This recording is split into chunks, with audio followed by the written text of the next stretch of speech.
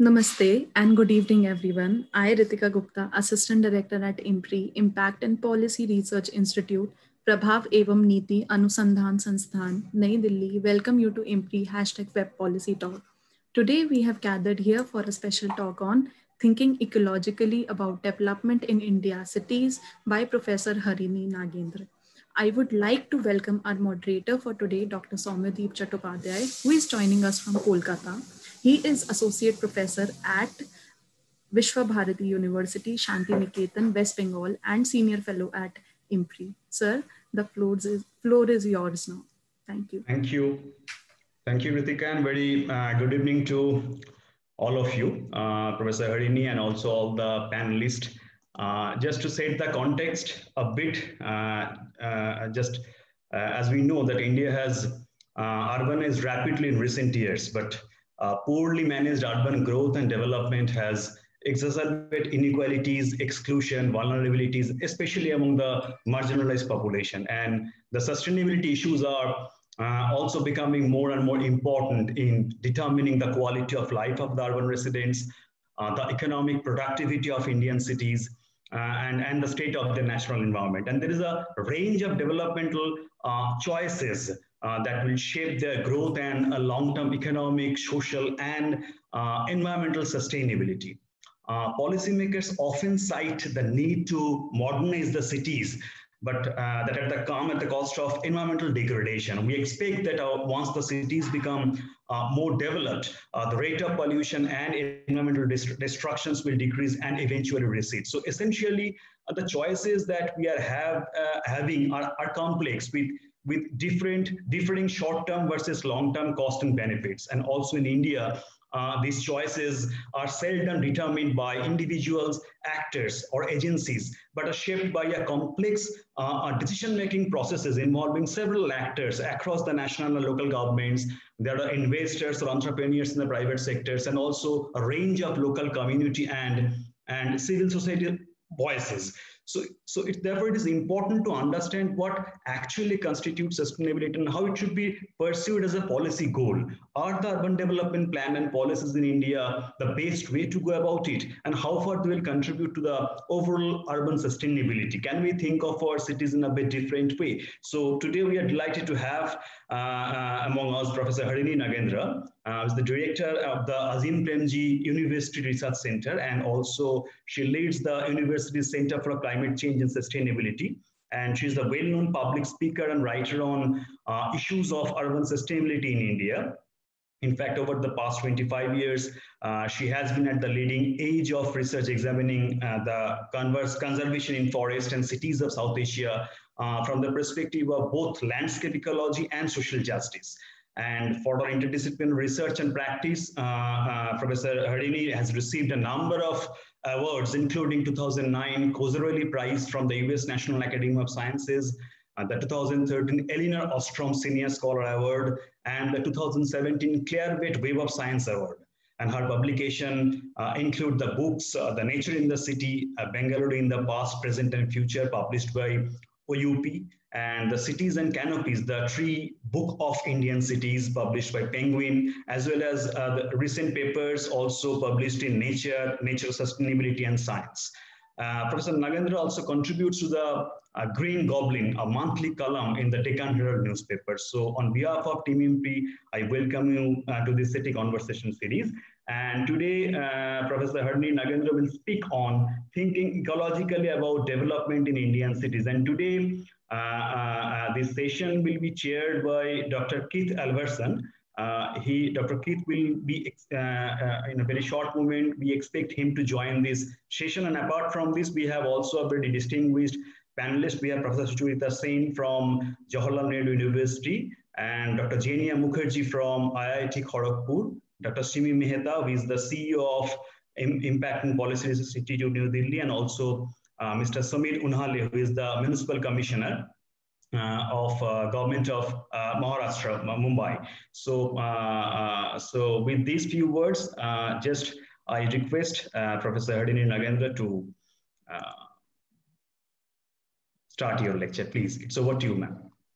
Thank you so much for this uh, very warm introduction and thank you to IMPRI and other colleagues here for uh, both for this invitation and chance to speak to everyone as well as for conversations I'm looking forward to in this panel. I think it's a very distinguished set of people on the panel and I think the conversations are going to be very extremely interesting. So thank you everyone. Uh, let me just give, please give me a second while I just share my presentation.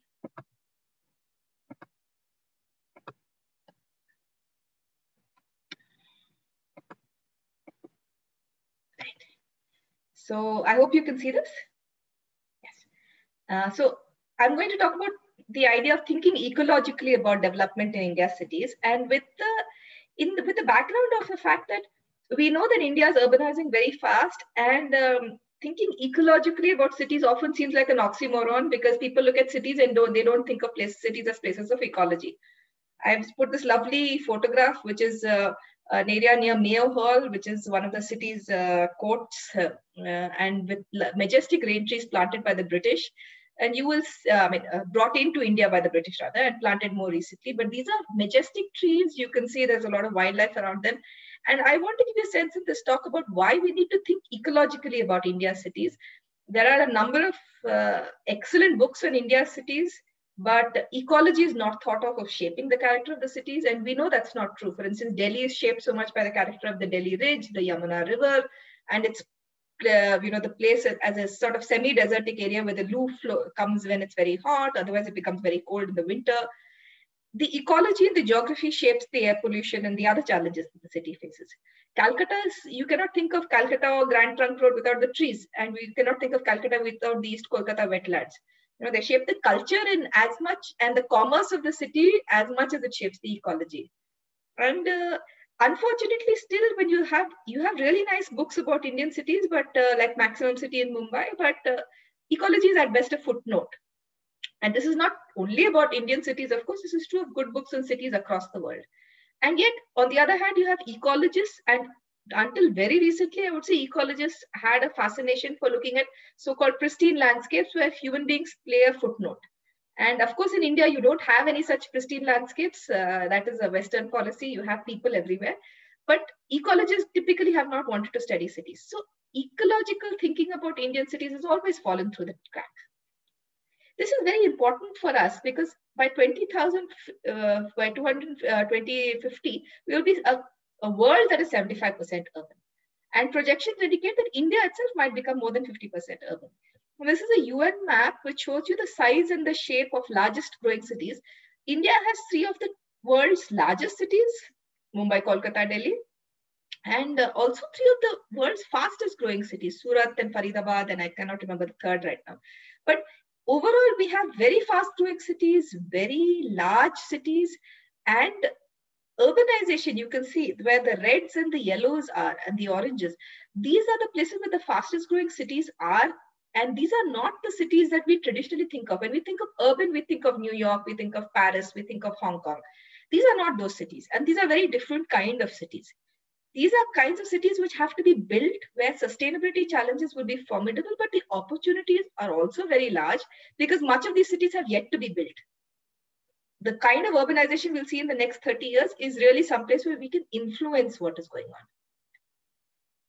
I'll give you another example. Here's an example from the nightlight satellites images, which gives you a sense of lights on, which is cities growing, and lights out, where cities are were shrinking. And here's a blow up of two places. You can see the US as opposed to India.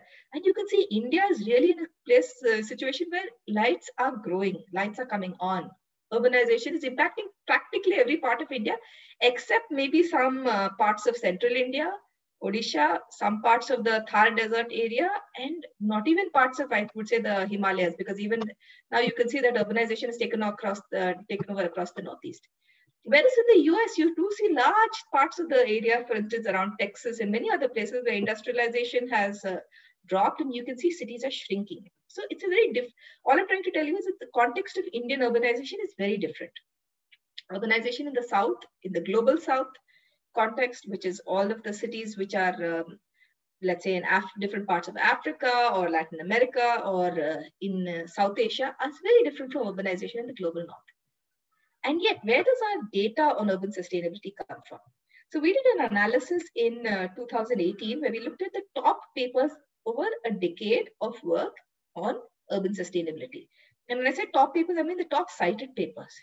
And we looked at the number of citations versus the percentage of authors that came from the global north. This is not a surprise, but I think the numbers shocked us even. So you see that North America is one third, Europe is another third, and then you have uh, China, which is 20% of the papers are from China on China. If you take the rest of it out, what else do you have in the global south? Half of a percent. And in India, it's 0.1%. So 0.1% of the top 1,000 cited papers on global sustainability over an entire decade come from India. Now, why is this important? Because what are we doing to shape urban sustainability? We are looking at these top cited papers and urban theories and books and things that influ are influenced by this kind of research. But this research does not come from the Indian context and it is not suited to the Indian context.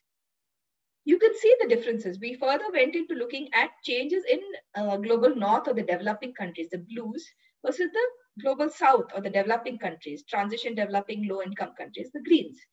And you can see that the white line in the middle of the box, which is the average population growth rate over every 15 year period from 1970s onwards, global south has been growing at a significantly faster rate. The global south has very different sustainability challenges. If you look at UN databases on infrastructure development, on city prosperity, quality of life, environmental sustainability, the global north, which is again the blues, are in much better shape. Cities in the global south are floundering. They have low youth and they have high rates of youth unemployment, very high under five mortality rates, low access to water, good water, high amount of slums, low access to the internet. This is very important because I'll link this to smart cities later, high homicide rates, a variety of different things, literacy rates, ex exposure to air pollution, PM10 concentrations, rates of poverty. We can see that these cities have very different challenges from the global north. So purely in terms of data, they have very different challenges. Why is this important? Because you typically have a situation where like I said, you have this urban theory that is driven by the kinds of papers that we saw, the one third, typically the one third of papers from the US and the one third of papers from uh, Europe. So between them, that 70% of the papers that more than 70% of the papers that come from North America and Europe. This shapes the methods of inquiry. And that influences the kinds of practice that we do in our cities, the way in which we design our cities. And we have not thought about this sufficiently. So I'll give you some examples of what kinds of ill-designed practice can lead to in the next half of my presentation and finally in the next third of my presentation. And finally, in the last third, moving from ill-designed practice, I want to talk about how locally embedded research can be important in guiding us towards better practices. Hmm? So Southern imaginations are neither so typically we look at anthropocentric views of cities or views of nature and biocentric. Should we protect nature for nature's sake, biodiversity for its own sake, or because it's useful to us? In Indian cities, it's simply impossible. These are photographs from across uh, Bangalore, but they could be from anywhere. Look at that old gentleman we saw in a street in Jayanagar, going for a walk in the morning, but he stops to pray to a tree as he goes for his everyday walk or this man below with his cow, which is being washed in a lake in Bangalore. These kids from a local slum who hang saris and play from the tree. That is their playground. They don't have playgrounds, but this is their playground. Uh, if you take away this tree, then what do you have left for them to play with? Right? Or the lady above who had, um, who's you can see her combing her hair she has aloe vera in her garden. And when I asked her why, she, it's a very difficult garden to grow aloe vera or to grow any very lovely garden, but very difficult context. There are snakes and there are rats and there is no fresh water. And she has to bring water from a large distance and expensive to water this garden. And I asked her why. She said she has aloe vera in the garden because her daughter planted it before she got married and then left. She keeps it in memory of her daughter. And I said, why did your daughter then plant aloe vera? She turned to me with a laugh and she said, For people like you, you go, people like you go to the parlor, but for people like us, this is our parlor. Now, is this anthropocentric? Is this biocentric? Because there she also has a Tulsi that she worships. Another lady from the same slum told me uh, she had a beautiful garden. I went back two years later to visit the place. And her garden, which was a strip in front of her house, had been taken away because the road expanded. All she had was five pots on her wall, and the five pots were full of tulsi said, You had such a beautiful garden, all kinds of things she was growing. how, why do you have five pots full of tulsi? That's all the space you have. And she said, yeah, I didn't plan it. I prepared my pots with manure and I went to visit my daughter and I came back. Tulsi seeds had blown in in the meantime and taken over the pots. And uh, they're a guest. How can I kill an or uh, destroy an un- uh, guest, whether it's invited or not invited, right? She said it's an atithi essentially. And uh, you see that that whole logic. Now, are you saying that's a biocentric logic or an anthropocentric logic? I think these, these questions don't apply. That framing does not apply. For them, it is seamless. For this Dhobi community who washes clothes near the lake in Rajanhalli Lake, it is, you know, they pray to the god uh, when they take clothes because they say taking clothes is like a sacred trust. This is research work done by my former PhD student, Hita Krishnan. And what she found when she spoke to them was if something happens and either clothes get spoiled or they mislay the clothes, then they create a temporary shrine to the god Munishwara and his seven sisters. And they spend the night praying to this god with secret rituals that nobody else is allowed to see. And then they continue, resume their work. And this has to be done with mud that is freshly taken from the lake on the side of the lake in a grove. If you take away that ecology, is there a livelihood? You know so i i think this framing of anthropocentrism and biocentrism definitely breaks down in rural settings but also does not work in the indian urban setting because the indian urban setting has a very different way of thinking. It's not urban residents as one would think of as in new in for instance new york or paris. I want to give you a few more examples of urban imagination which one can learn from such kind of research. So you have inscriptions on stone and copper from different areas across bangalore which were discovered. And here's an example of the kinds of texts that you see in these inscriptions that come up again and again. One of them talks about a tank, which is a, one of the lakes, and all the wet and dry lands, including the wells underground and the trees overground. And look at the imagination that is inherent in this. There is a sense that this land is life-giving. This, this is a land, uh, it's almost like a land document written on a stone because it's a land rights document granted to a temple. And it says that the trees above ground and the wells underground, the life giving water below ground, and the trees which are life giving above ground are part of this landscape. Who in a survey document would do that today? We look at survey documents, left side, right side, this is the survey number, etc. We don't think of trees above ground. In fact, the first thing one would do is cut off the trees and fill in the well so you can build from end to end. We don't understand, like they understood, the importance of this area. Similarly, what you find is if you look at these inscriptions, you will see that the way they invested in nature was, you know, these are uh, examples of uh, inscription that people talk about who have created lakes for the support of animals, cattle, birds, and all other living beings, the service of the goddess, or a woman who said that in order for her husband and other generation relatives for 21 uh, generations might ob uh, obtain uh, merit, or in order that dharma might be to his father again this is you can call this utilitarian but as along along with the idea of the particular relative it's also for multiple generations. And along with the generations it is for everything else animals cattle birds you know. Another thing we have been doing with another colleague amrita sen is uh, looking at songs of the lake. So she's been documenting talking to older women in these landscapes looking at a disappearing memory of songs. There were a lot of oral traditions of singing around these lakes and this is one of the songs which is a very well-known song across Karnataka, Maleraya, which is the god of rain. And it says, Voyo Voyo Maleraya, pour down god of rain or king of rain. But Maleraya was not asked to pour down alone. He has relatives, mother, children, he has an entire family. And all of them are requested to pour down. Now, what is the process you do? You, a child from that village takes a, a sort of a pan or a basket on his head and goes from house to house Every house donates a handful of rice and a handful of dal. All of this is brought together and a temporary shrine is made to Maleraya at the side of the lake and a communal feast is cooked in a wood fire and the whole village sits down and eats that food and then they pray to Maleraya. So there is a community feeling involved in it. Even when they ask the Maleraya to pour down, what is in the song? Hiranhalli Hire Gauda. That is uh, the village Hiranhalli is Gauda or leader the village Birenhalli's Gauda or leader. And they say seven Gaudas of seven villages sit down and talk for a minute, stand up and talk for a minute. So the idea of the community coming together, meeting, and then asking Maleraya to out is very much there. Again, there's an imagination of not private enterprise to restore a lake, but a community coming together. Right? we've forgotten these imaginations. When I come back, uh, I was talking about internet, low internet access. What we find in smart city document after smart city document is the idea that technology can somehow help us restore these cities.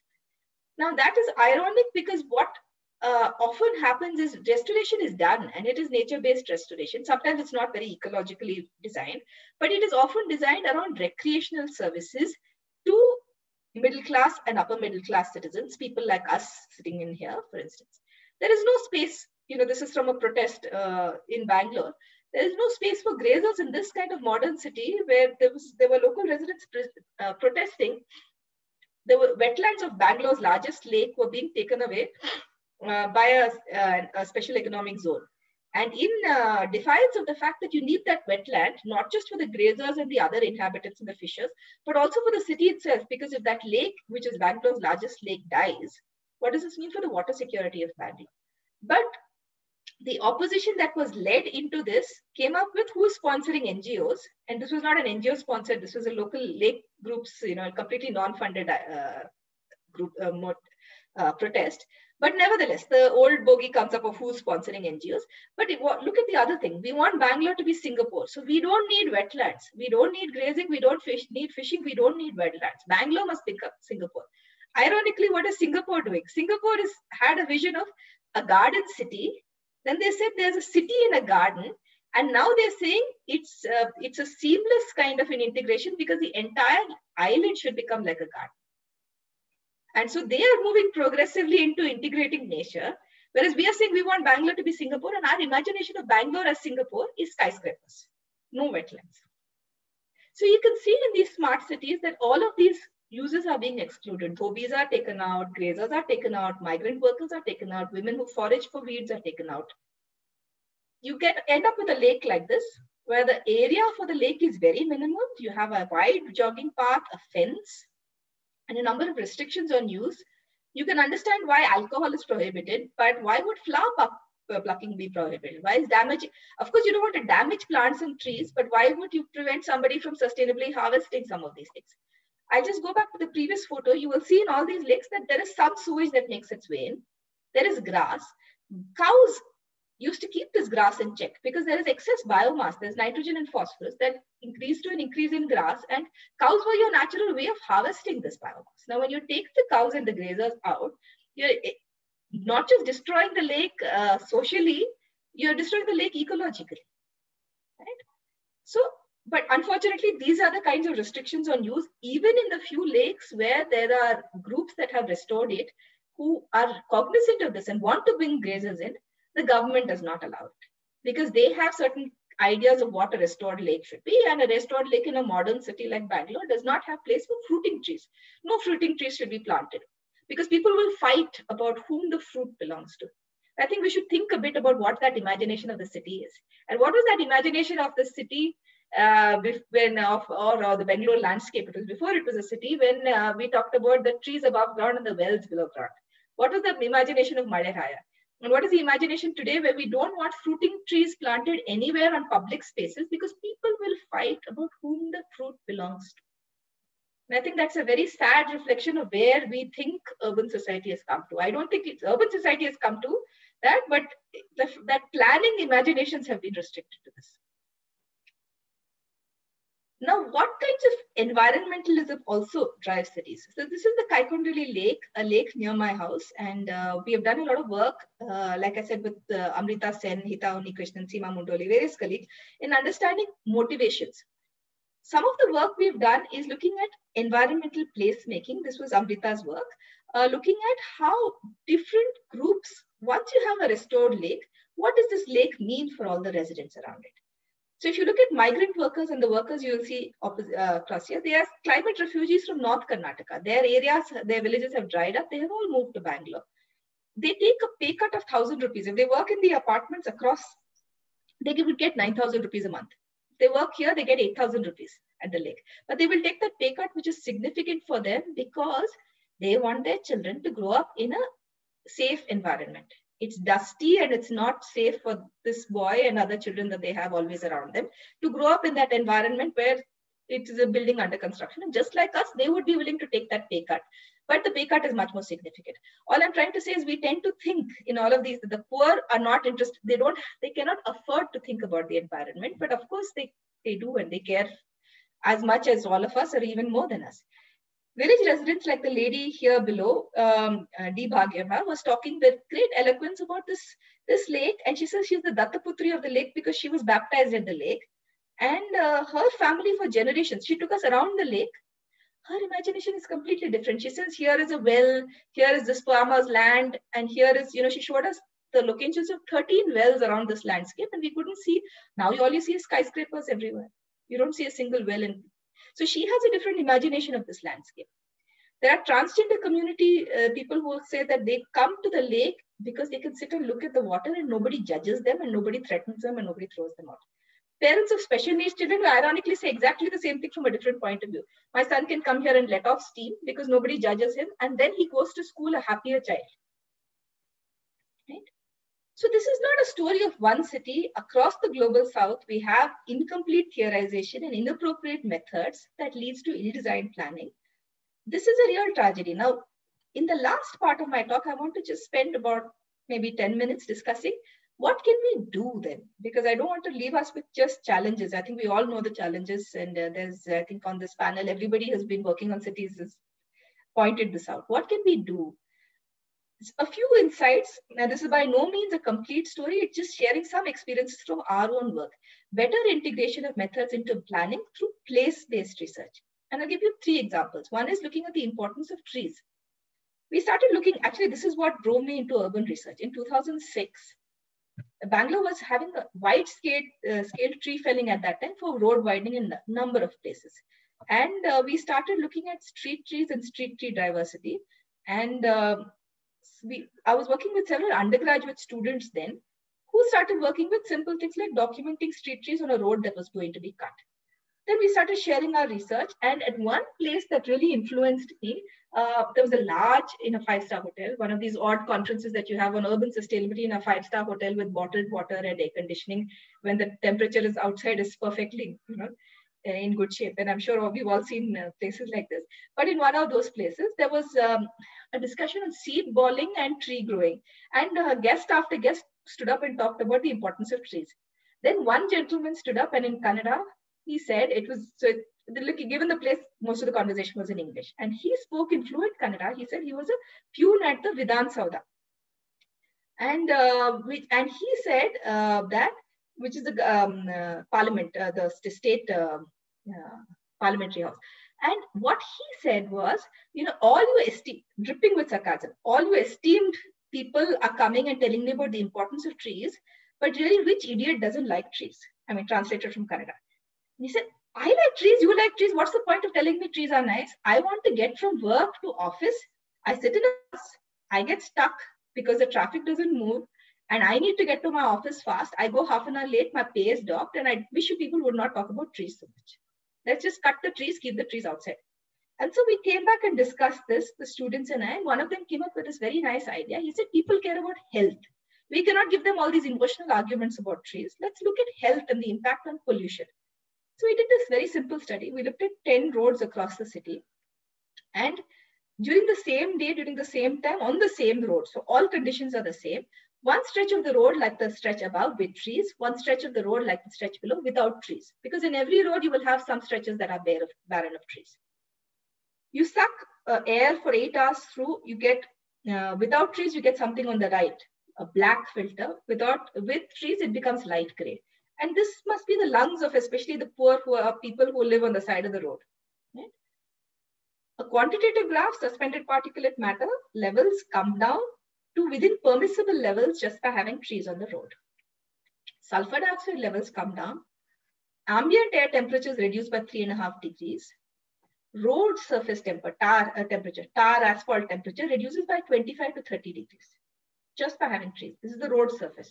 This is very important because with the combination of climate change and urban heat island effects, we are seeing projections that say by end of the century, cities might increase by 7 to 10 degrees.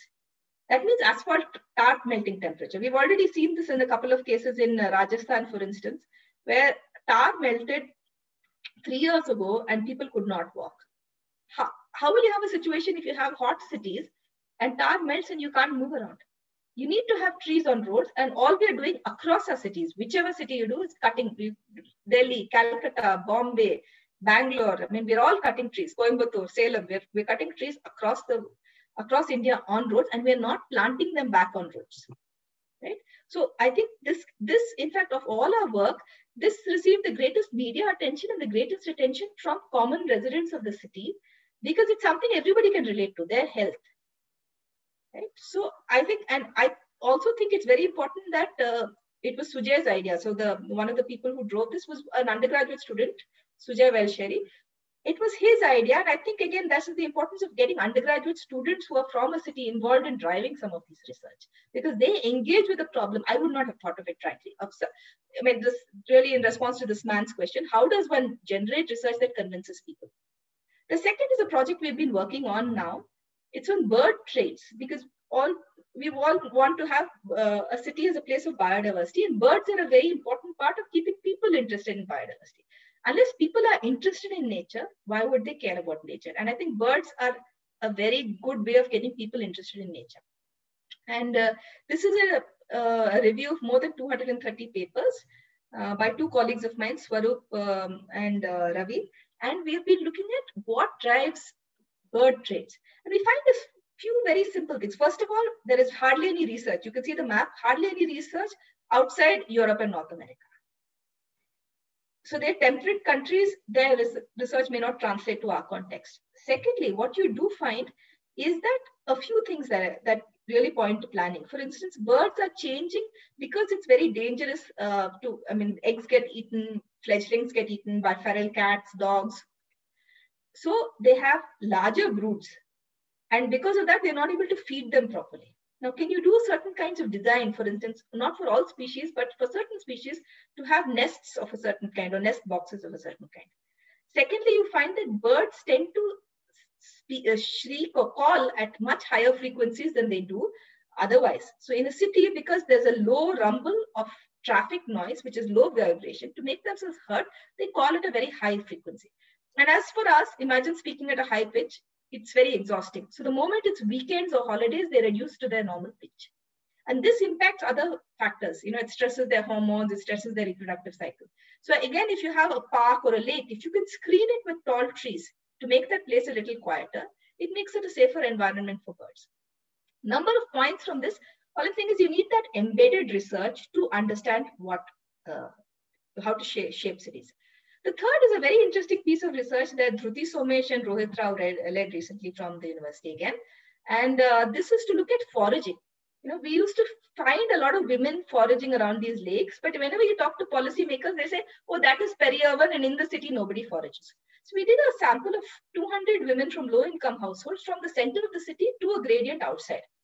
And we found that they forage from 80 different species. They had knowledge of 80 different species, 200 households. That's all we've done. 80 different species. The women in the city don't forage because they say it's all dirty land and we don't know where to forage from. Women outside the city forage. But even in the city, we found flourishing markets where you can go because many of these rare plants are very good for knee pain, for improving your brain power, for ridding your child of worms, for all kinds of things. They know the medicinal properties of all of these. We have stopped eating any of these. And so you can go to a woman in Banashankari market and place an order. Say, I want this vegetable, uh, this greens, and she will go and forage. And next week you come back and pick it up from. So there's a flourishing market we were not aware, right?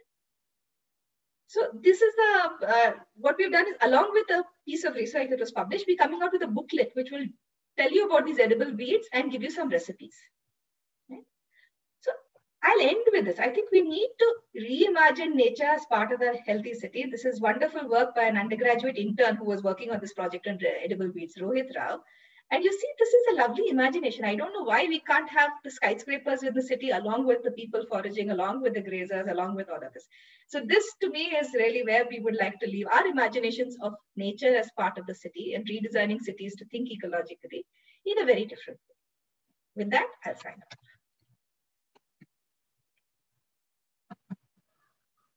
Thanks. Thank you, thank you, thank you, Professor Harini, for your very interesting presentation. Like it uh, gives us some very interesting stories as well. And uh, uh, like the uh, what I understood from your presentation is that uh, that understanding and managing the city uh, from an ecological perspective, it actually Im implies a conceptual switch from the dominant urban analysis.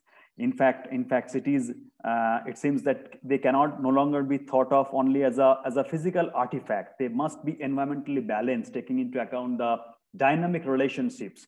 Some of these relationships are visible, some of them are not visible which exist among the various domains of a, a larger terrain of uh, urban as well as uh, the, as the, the adjoining areas. And these urban developments or the redevelopments, they should be guided. For example, you mentioned about the smart cities. So, so the urban developments or, or the redevelopment should be guided by a sustainable planning and, and a management vision that promotes the, uh, some kind of interconnectedness, the livability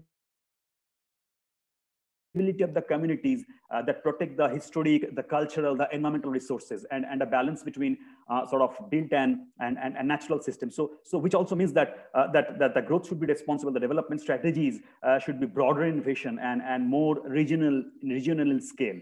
So once again, thank you uh, for uh, this very interesting presentation. And I think we still, Dr. Keith, has not been able to join with us. So uh, uh, Uh, uh, let me just uh, move over to Professor Sucharita Sen uh, for his comment, for her comments, observation on your presentation. And Professor Sucharita Sen is teaches at Center for the Study of Regional Development, Jawaharlal Nehru University, New Delhi. So it's over to you, Professor Sen. Thank you.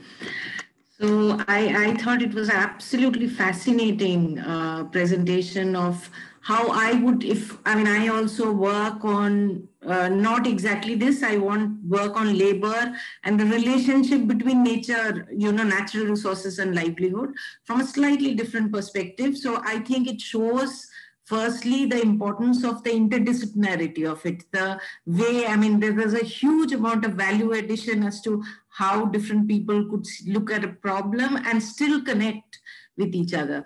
Uh, so I think the first thing which really fascinated me was your, I, I, mean, I'm kind of paraphrasing and I'm taking on from what you have spoken, but uh, uh, what really struck me was the idea about the coexistence of people and nature and as to how you made the point about the poor actually uh, not only wanting to do something about it, I'll go one step further that the environmental services of the cities, I think, are required far more by the people living at the margin. And that is the reason why they would also go that extra mile to preserve the kind of environment. I think, I mean, that that's a point which is very, very close to my heart. So that that's one thing I take.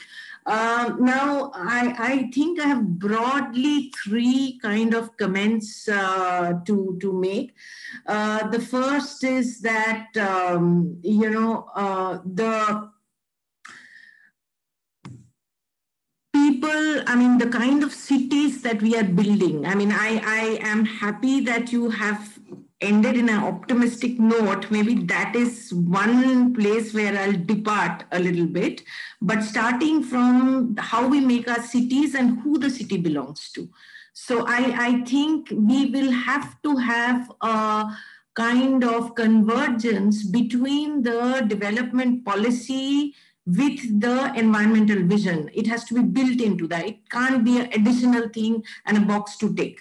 So it, it we have to look at a future of the city with the vision that uh, you know the city is uh, perceived in the future. But I actually currently see the development regime going very far from it. I, I see it totally departing from it. So that that's my uh, you know reason for pessimism probably. So I would like to kind of give three examples of, and, and let me talk since you make this point about poor, let me take it forward. Uh, you know, maybe I'll give you just three examples where the three sets of poor, all of whom actually actively contribute to the making of the city but are do not ultimately belong to the city so the first category that i can think about are which you also mentioned migrant workers and the they come from outside. And and there is this phd uh, done under me which i'm depending on to draw from it that they actually when they asked uh, they they are uh, very very i mean the kind of situation that they live in and also uh, you know the kind of facilities they have access to it's pathetic.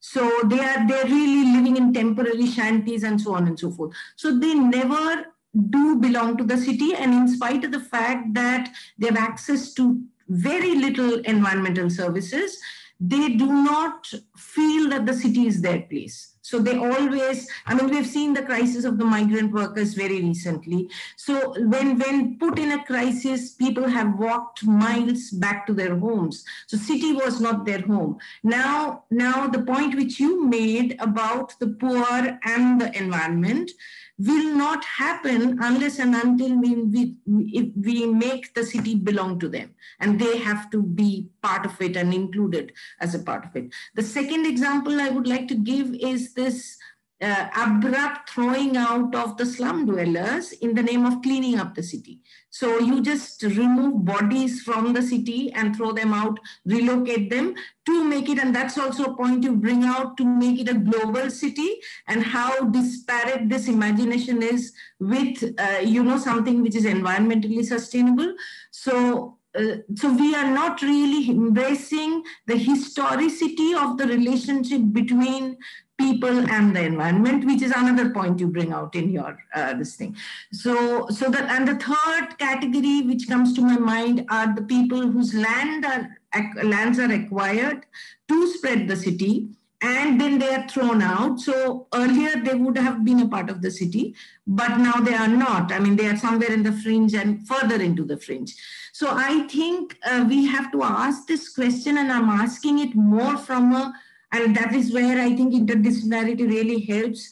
That I think we have to really ask this uh, question more from a social perspective, where which will answer or address or talk to many of the issues that you are talking about as to who the city belongs to, who's who has the right to the city. So that you know if you make people belong and if they are dependent on environmental resources if you empowered them in terms of which is also over a period of time being taken away. I mean I'll, I'll, refer to it at the end in terms of one of the examples and we had this discussion in the IMPRI one of the discussion sessions we had on the eia 2020 notification. So that that's a case in point. Uh, the second thing i would like to talk about is from one of my the work that i did in hyderabad which is just an example but the point which i wish to make is that the ecology of the city uh, is, uh, of course, very, very important, and all of the points why it is important, you have made those points. But it does not stop there. It is far more important than it seems to be, uh, you know, from from the uh, from just the perspective of health or uh, you know uh, environment cleanliness and things like that and, and the quality of living, it actually has an impact on the inequalities and it, it actually has a bearing on how the society will function. So one of the examples which I would like to give is the intense pollution which we see in the peri-urban water context. So one of our work in the peri-urban uh, areas in Hyderabad showed that because you pollute the underground and the surface water, that in, creates a market for safe drinking water, which encourages private players to uh, you know supply water from RO system, which is priced and the poor are not able to access it. But this gives rise to new forms of inequality. And when we actually measure the water of how much water, just drinking water, how much water the poor and the rich drink, they actually poor end up drinking less water than the rich, number one. Number two, in the lean season, when the prices go up and the consumption go up, the gap is even more. So what I'm trying to say is this environmental, I mean, this uh, messing with the hydroecology in this particular context actually gives rise to new forms of inequality. And, and I think that is a far reaching impact of how a non, I mean, a, a, city which which may have been sustainable earlier, which is going into a different direction, could produce unequal societies. So, uh, taking on from where where you were uh, you had finished, and the third thing which I want to actually uh, focus on are the we have to actually look at the processes of growth. What is the what are the roots through which we are growing? Now we have a blind so so the kind of uh, uh, you know economic regime that we are current, currently into it gives a primacy to economic growth so at the cost of everything else at the cost of environment at the cost of distribution at the cost of equity and and any other forms of social cohesion. So i i think that we do in some way and that is where again where my pessimism comes from that uh, you know we have to really stop thinking about growth being the ultimate end to our route that it is not. It is a means to an end. And I, I think more than that how we grow is very important the roots for growth is important. So so you might grow very fast but you can grow in a very very unsustainable manner. So uh, I, would say that a 3% growth in a sustainable manner is preferable to a 10% growth which we really laud all the time. I i i mean i don't have time but i mean i think this can be expanded or expanded on. And i would like to end a little bit about uh, the you know, one of the examples of uh, the direction that we are going in terms of the environmental impact, assessment notification, which when you, when, when you read it carefully, number one, I, I think the main problem which I have, and this is there in all the policies that we are having, that if you have, have this, imagine these three uh, nodes of the government, the citizens or the people, and the private sector, which is uh, spurring the growth. The government is swaying far more uncomfortably closer to the private sector and the corporate sector and away from the citizens. So the citizens on their own, and that is where I feel, I mean, I take your point of the independent research, and I have no doubt in my mind that these are very, very important and vital. But I think the means to make a difference is being taken away from us. I think, I mean, the citizen's voice, for example, the public hearing, how much of public hearing is allowed for which kind of project, and, and many of them are actually urban projects, are being, uh, you know, taken away. That is number one. Number two, the kind of documentation and scientific evidence we used to have earlier in any kind of uh, you know, mm, development project, that is reduced. So the citizens don't even know what is happening. So earlier we used to be aware of what what is happening, and one could actually go to the court with all that material. So what I'm trying to say is over a period of time, while this micro level work are very important and crucial. I mean, absolutely crucial. I don't disagree with you. But the mechanisms by which we could make a difference, that instrument is being taken away. So unless I, I really don't have an answer as to how we can, you know, kind of redirect the trajectory towards something which is much more citizen oriented and i think the main point of departure is the cities would earlier historically organically develop. Now what is happening a new landscape is being superimposed on the old landscape. So, so the all elements of historicity, connection with the nature, people and nature is being done away with. So you have this, uh, you know, flyover, the multi-storied building, the malls and all of this being superimposed onto a landscape which was earlier quite organic represented an organic relationship between people and the environment. So I really think we need to depart from this mechanism of city making and the process of city building. Uh, where I do think that, uh, you know, citizens' involvement, making them aware, you make this point about the media attention. I think it's extremely important to, to make all the work which is being done counted and having, uh, you know, kind of uh, presented it by the media. And, but, but I think we have to work out somewhere together, put our heads together to figure out how, what is that process through which we can make a difference.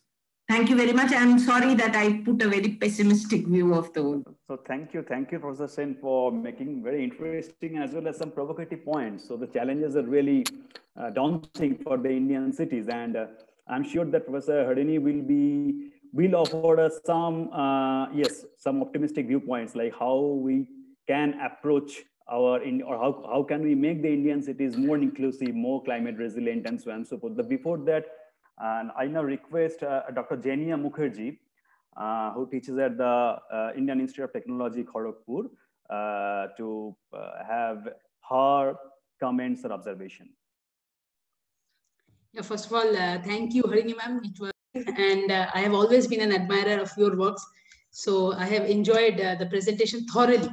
And I think like from the very beginning itself, when you talked about this uh, I mean, why biocentric and anthropocentric uh, binaries are actually very, very problematic. And being a student of environmental history, I immediately, you know, I can relate uh, or resonate uh, to uh, Ramchandra and uh, Juan Martinez Alier very old work, but which was extremely influential for us when we were master students, varieties of environmentalism essays, uh, I mean, uh, global, uh, very kind of make a distinction, made a distinction between ecology of affluence versus environmentalism of the poor.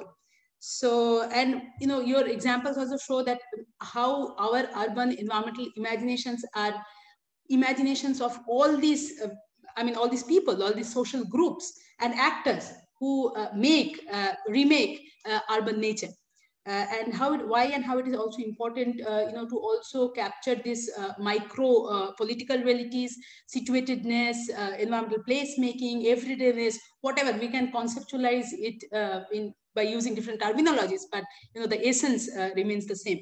So I think this is very very important and crucial.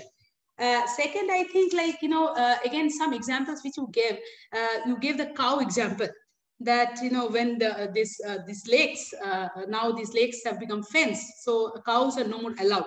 And i also think that you know why it is important for us to also understand the importance of human non-human entanglements uh, in these you know uh, ecological spaces.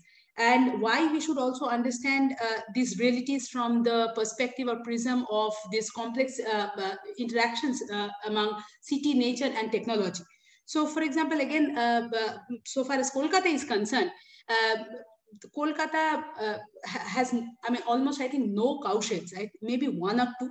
And this, uh, this is a very small piece of news. So if I say a policymaker that, you know, Kolkata has no cow shed, so he or she would immediately say, you know, what's the big deal? So why are we even discussing this when we are discussing ecology in cities? But I can tell you that, you know, that Kolkata has uh, no cowshed now, how it has impacted the nature of waste in the uh, or the nature of wastewater in the East Kolkata wetlands. And uh, I mean, it will really not be an exaggeration if I say that, you know, this kind of, uh, which may appear a kind of a small example, but the kind of impact it has, even on art system, I think is huge. Because all of us, we are now aware of the larger inter interconnections uh, of you know these kind of changes uh, across uh, local, regional, and global scales. So I think this is very, very important. So it's quite important to uh, to observe, you know, what kind of changes are really going on and how uh, these changes are shaping uh, urban ecological dynamics or dialectics. Third, I think like Sucharita ma'am's point is also very, very relevant that, you know, we are talking about nature, we are talking about urban nature. So what is this nature? Whose nature? How nature? Why nature? So these questions become very, very important.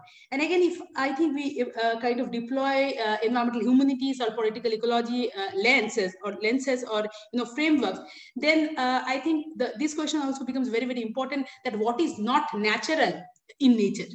So why it is important for us to understand, you know, the cityscapes uh, as, as, as complex socio-natural assemblages and why it is important to incorporate the needs, interests, aspirations, agendas of anyone and everyone under the sun, you know, inhabiting uh, uh, cities or cityscapes of India.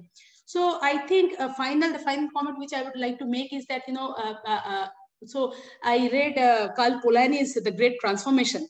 And uh, Polanyi talks about, you know, how this uh, capitalist system or the capitalist economy, it, it is, it, it, I mean, so he was, he is, I think he's a father of this particular terminology called disembeddedness. So I think why it is important for us to really, you know, I mean, how do we how do we uh, uh, focus on or, or how do we understand this this embeddedness and also try to think about ways or innovative pathways through which re-embedding can actually happen. So, uh, so it's very, very important to actually you know, understand the context. There's a major problem with this smart city discourse or doctrines and practices, I guess, that uh, this disembeddedness is a crucial or key feature, you know, in this uh, smart city uh, approaches or the, even in the smart city mission. So I think it's very, very important for us to kind of uh, uh, contextualize, uh, uh contextualize like uh, technological uh, plans or, you know, big, big plans, mega plans within the within the uh, social, uh, political, cultural, you know, all these realities that remain enmeshed together and uh, you know as part of urban nature.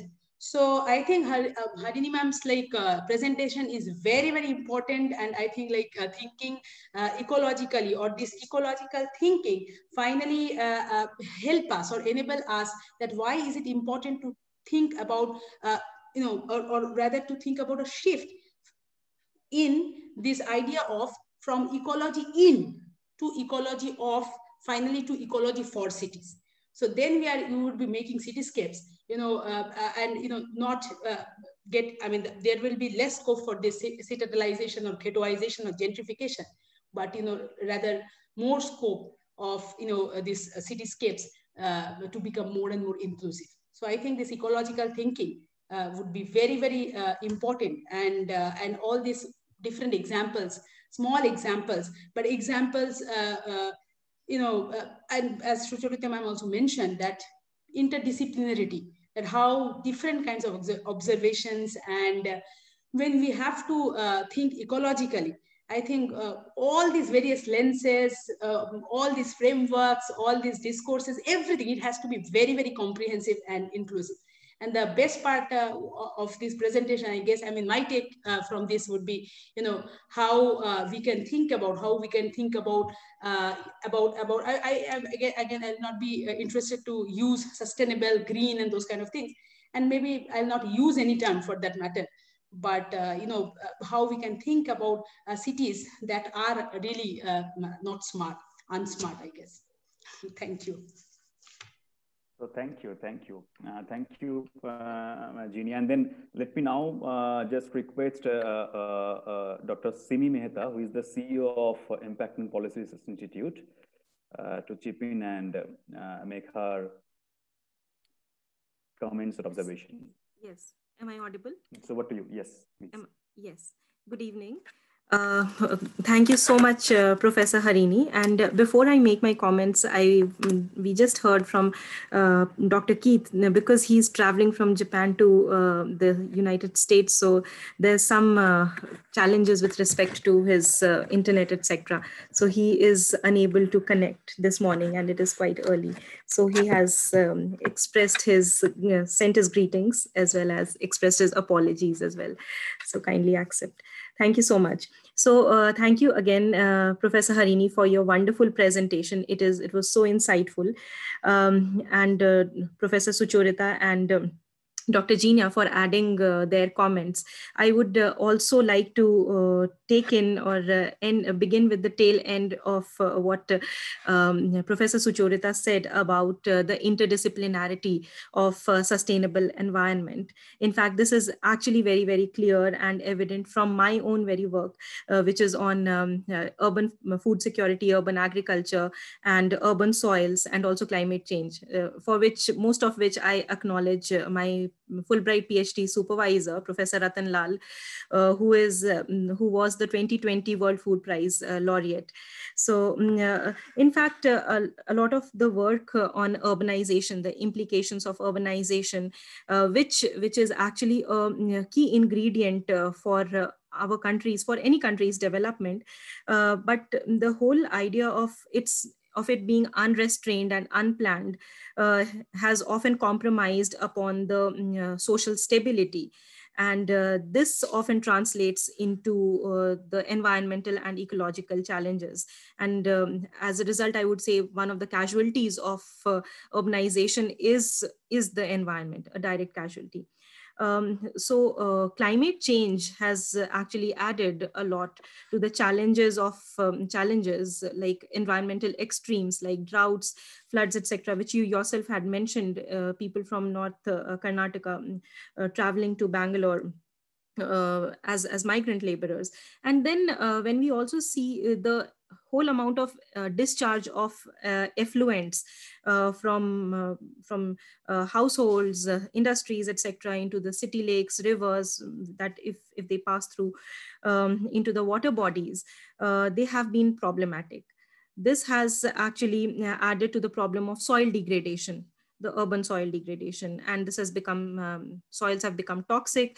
Elements like arsenic and other compounds they uh, they entirely contaminate the whole um, uh, whole systems. And then it it actually leads to problems in the health problems of health uh, for the people. And those at the receiving end are uh, the poor and the vulnerable who really cannot afford um, water filtration etc and um, good uh, good quality water and then increasing greenhouse gas emissions um, from the from the industry. So the natural environment is certainly at a very pitiable state. Um, one another aspect uh, I would again point out uh, is about the rural to urban migration, um, wherein uh, we are actually currently pursuing a study uh, on uh, on how um, how uh, migrant workers um, I mean, workers are traveling from uh, the Sundarban Delta areas because they are faced with uh, climate ex uh, excesses in uh, towards, they are moving towards, um, mostly towards Aurangabad, Maharashtra, and um, other, other city, uh, cities in the country for, for the sake of livelihood. But um, here our study points out that most of them are willing to live, continue to, they would like to continue to live in, in these cities because um, their their challenges of uh, climate excesses is totally different. Uh, they would not uh, their their houses have been totally uh, destroyed and all those so and plus they do not have agricultural land uh, in their hometowns home villages rather uh, where they can at least seek to begin their um, their work. So in fact again this again highlights the lives of the people are in perils. Um, uh, uh, closely associated with, with this point is that uh, urban agriculture, the need for urban agriculture, urban and peri-urban agriculture has really not yet gained that momentum, that much of momentum, which uh, we have been, um, in our studies, we have been trying to uh, argue. Uh, and then urban forests, it is just a matter of um, aesthetic, you know, aesthetics that if you have this much amount of land, then you can have uh, forests, but that is not really a concern. Um, what could be your views on this? Um, well, in uh, urban agriculture, there has been uh, some small private investments, mm, you know, that aquaponics, hydroponics, etc. But uh, this is not still being advocated at the policy level to the mm, uh, as vigorously as uh, it should be.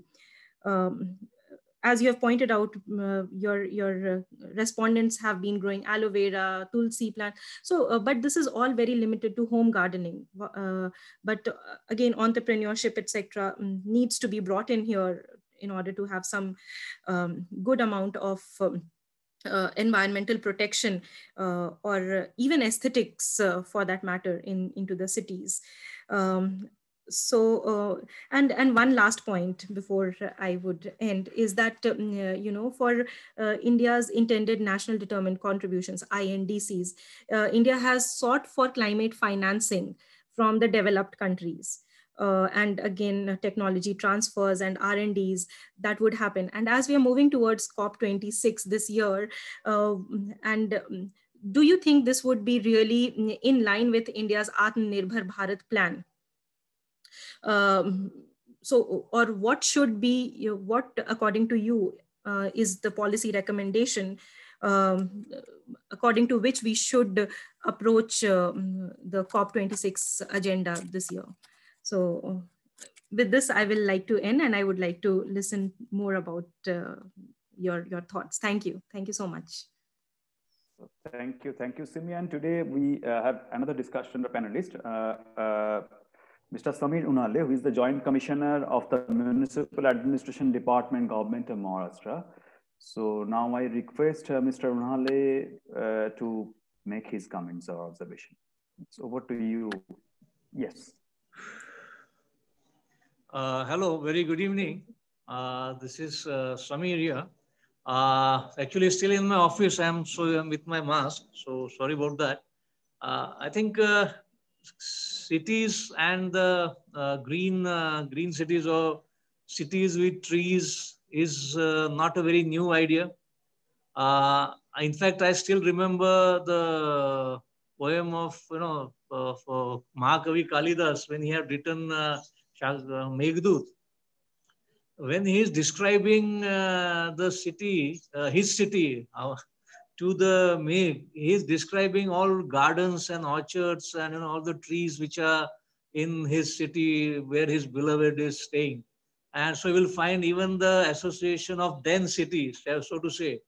And uh, what we're discussing now is not very far, despite you know centuries that have gone through. So what it really means is that uh, somewhere uh, the resonance of, of, the trees and uh, uh, humanity per se and our habitats has been a very strong one. And it remains and continues to be strong. Uh, in fact, uh, I do recollect one of the news articles in which it was clearly mentioned that I think India had shown substantial increase in the green cover in one of the uh, GIS maps or the satellite remote sensing maps which were flashed over the world.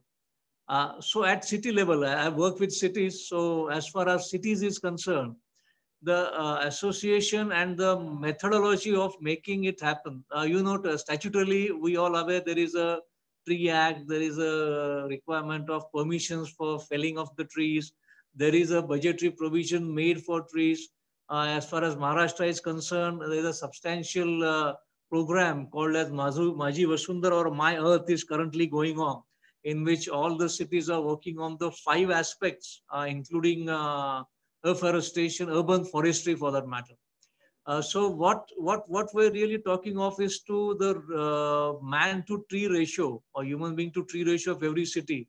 That is something that needs to be improved. I, I really like the point which ma'am made that it is just not aesthetics and ornamental value of trees that we are talking but the very core, uh, the very basic ethos of the city needs to be connected with the ecosystem of which trees is always a very important part.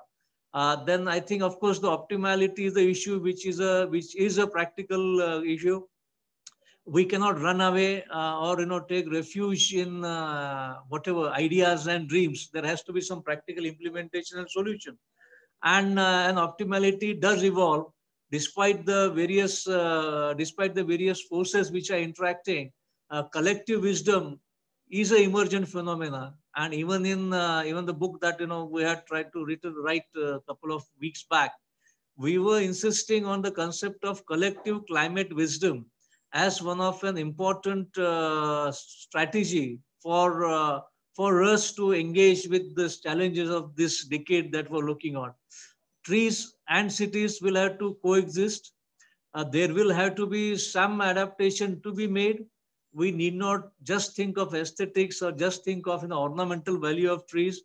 They need to be, we need to have more and more urban uh, forest uh, with us in the city, adjoining cities. Uh, luckily, you know, what the part which I am staying in, we have a big national forest uh, besides us. And uh, it indeed is a important, you know, important aspect of a city. Uh, there are many experiments done all over the cities of India. In fact, Amrut program, uh, which we had uh, just last uh, plan, it had an important component of greening of the cities and many gardens and urban forestry project came up.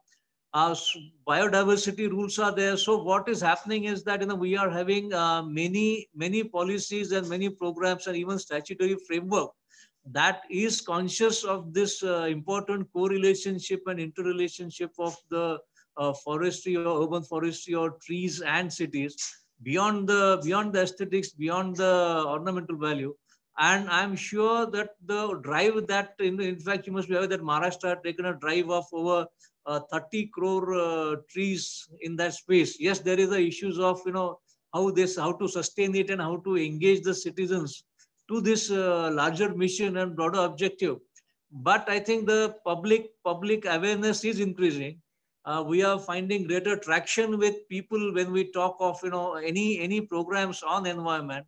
Uh, the larger IEC strategy that we are seeing with the uh, climate uh, framework and the other even from the, even the international agencies, the multilateral agencies and UN agencies, which are trying to you know uh, promote this idea.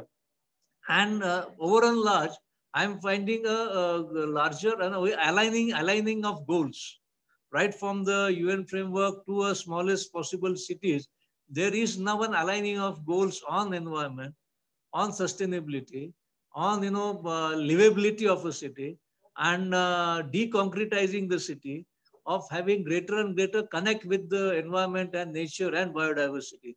So yes, so, so I think the major challenge for just for cities now, you know, is to come up with a workable plan and uh, have a framework of executing it despite the various interacting forces that we might be having. So I think the challenge, I think, is now execution. We have uh, last two and three or four decades, there has been substantial discussion in national and uh, international forum about the need and necessity of being environmentally conscious. I think it has now reached to such a stage that probably every most of us are convinced now. So what remains to do is to execute it, to implement it. And while implementing, uh, what we are trying to have is greater, greater citizen participation because funds and uh, programs, uh, I think there are substantial availability of everything now. So I think uh, uh, what needs to be done now is to work out on having such execution, you know, strategies and best practices and SOPs really to be shared, not only by government or municipality, but the various agencies that are coming up. So I think the, uh, in fact, in urban India for last five decades, for, for last five years, in fact, we talk of smart city and Amrut and Hriday and uh, the Swachh Bharat, of course, which we had. Even in Maharashtra, we're having the Nagarotthan program and the Maji Vasundhara program, which are also aligned to the national goals. And uh, this even, uh, in fact, let me tell you, uh, Dr. Saab, even this kind of uh, webinar that you are doing, is also a very important contribution of creating this uh, consciousness and uh, raising this awareness. And you know, there is a, in fact, in marketing is the last uh, point I will take that uh, before joining, I was doing door-to-door -door marketing uh, of I was selling vacuum cleaners earlier, in my just after my college. So we used to, uh, in fact, I still remember the lesson of door-to-door -door marketing, which our my boss used to tell me that there is a you know there is a still moment of cusp you know in which the person will buy or not buy your idea or your program whatever it might be. But that emotional resistance a person has to a particular idea if there is a you know typical uh, magic point till which you have to take him and realize and then he you know he, he starts uh, implementing that. So i think you know that calls me off. In fact uh, nudge theory was something that of course it has a various different connotations by various academic uh, uh, you know uh, the themes and theories that we have. But I think when, when, when we are thinking of uh, larger community engagement with the citizens for a particular program, in this case, which might be, you know, uh, urban forestry, urban trees, a lot of thinking needs to be done and uh, some behavioral elements, some nudge theory, some, you know, uh, how to get greater uh, uh, monetizing if you want monetizing uh, uh, environmental actions in some way is also, you know, in fact, we had tried a program and was working as a CEO Smart City of making an app which connected the rag picker, the housing societies, and the recycler and uh, getting the plastic which gets collected connected with some of the CSR and monetizing it as an incentive for behavior, behavioral change of behavior, which would be bringing uh, bringing you know some uh, uh, change into the person that if a, society collects a particular plastic and gives it to the recycler via the rag picker via that app this activity was to be incentivized in some way on monetarily but of course after that i don't know what what stage it gives but these ideas will have to be tried. So is the case with, you know, I remember in it in 1995, in fact, there was a Samajik Vanikar or the social forestry experiment was done in Maharashtra in a very big way, almost uh, three decades back. And that experiment did give a lot of, you know, memory parks. It was called as Smruti Van, uh, uh, trees which were done in memory of your, you know, family or other people.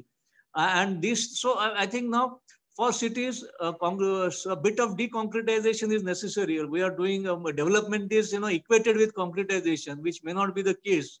A new form of uh, maybe some new things will have to be included even in the district manual of you know PWD engineering. The public works department will have to bring in some new manuals which will allow greater the ecological system and lesser of concretization and maybe you know tarring of the roads every time and these ideas, I think, are now finding place. I'm, I'm very hopeful, I'm very confident that uh, we would be in a position to create a significant impact on the cities of India.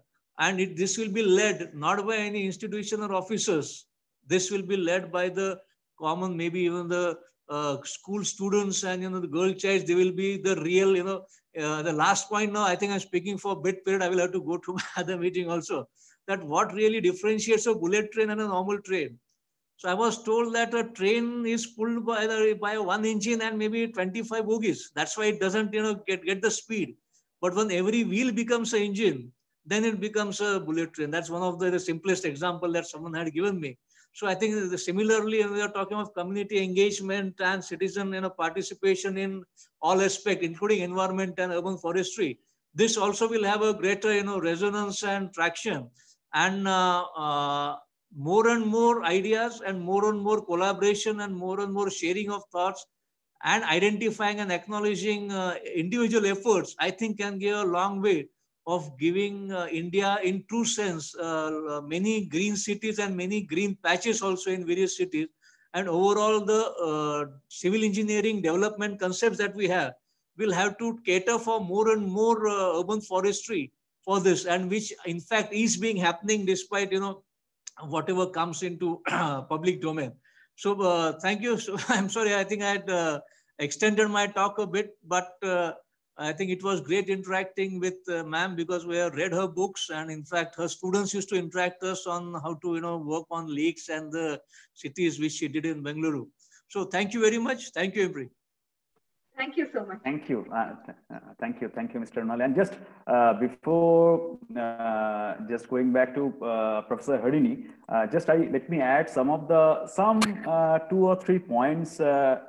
those are especially related to the implementation aspects of whatever things that we are actually talking about. Like as we as we know that in, in, case of India, these urban and rural areas they're actually conceptualized in opposite terms, but generally it has been observed that that both are profoundly interconnected and and are linked to a complex economic political and and environmental social fabric. So it may be necessary uh, to move away from the current administrative uh, political divisions uh, to boundaries that are defined by natural process and system. And if so so is there any sort of ideal governance structures that can address uh, some of these environmental issues like water food uh, waste energy uh, transport, biodiversity, as well as the urban-rural flows. And uh, secondly, uh, another, you, you mentioned about the importance of locally embedded research. So, uh, so what I uh, like to know that how can such local knowledges and indigenous responses uh, be incorporated within the existing official policy narratives? So it's over to you now to respond to the comments and all the queries and all these things.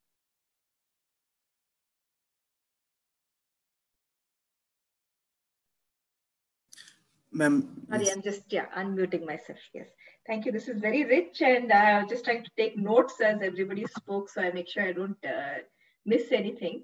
Um, so uh, I, I just, if you, if nobody minds, I think Mr. Uh, uh, Samir Unhale was saying that he has to leave soon. So I'll just do his comments first. I don't want to lose that opportunity because I think it's also, thank you for putting this panel together. I think it's very rich to have, uh, you know, from academics to planners. It's really, I think this is the kind of conversations we should have. Uh, just to respond to Mr. Unhale's uh, comments, I think there are many very important points you brought up. Uh, don't just think of the ornamental values of trees, absolutely. You know, one of the things we have been thinking of in terms of how do we make cities places of nature again? I don't think we can actually go back to uh, large open spaces in many of these cities. Mumbai, for instance, has no place really for the large open spaces. We have to get creative. Now, can we do creative things like saying every tree is um, I mean, given the real estate space in uh, Mumbai, let us say every tree is, is invaluable, not just for the tree, but for the space it occupies. And we must make best use of that space. You must have fruiting trees. You must have trees which give you shade. You must have trees which uh, that the roots are not concretized, so they do rainwater infiltration. You must have trees of the kinds of leaves that contribute to air pollution. Can you do something that thinks of multifunctionality? So one tree is not the same as another tree we do not say that uh, planting eucalyptus at large scale, for instance, is considered equivalent to afforestation, but we do our research on what trees suit what landscapes uh, in Mumbai. For instance, in Mumbai along the coast, I know you tend to plant a lot of uh, cashew and uh, this uh, native badam, more native badam actually, and that's a good tree to plant because it's able to survive the coastal winds. And uh, so, you know, can you have that kind of an ecological thinking on, for instance, mangroves, how to get Mumbai's mangroves back? Because I think in terms of climate change, there would be those kinds of impacts. So I think there's a lot that can be done here on uh, design uh, when one is thinking, especially if a city like this has a vision for planting number of trees, which is very nice to know. What kinds of trees should one plant? We, we need much more research. Unfortunately, what we have is we are nursery based, I think. Uh, nurseries tend to have uh, uh, certain kinds of trees and when we want to plant at scale, we, we are uh, forced to do these plans uh, at large scale. I'm speaking from a Bangalore experience, admittedly, but this is typically what happens. And then we plant the trees that are available. And uh, how does one uh, get this cycle into place so that we actually land up planting trees that are more uh, possible? I think there's a lot of interface there between research and policy and uh, horticulture that, that needs to be done, which is not happening in the Indian context. I also found your uh, example in Kalidasa very interesting. And uh, in fact, when the British came into Bangalore also, they were very inspired by Kalidasa's idea of Ritu Samhara, that is flowering trees of every season.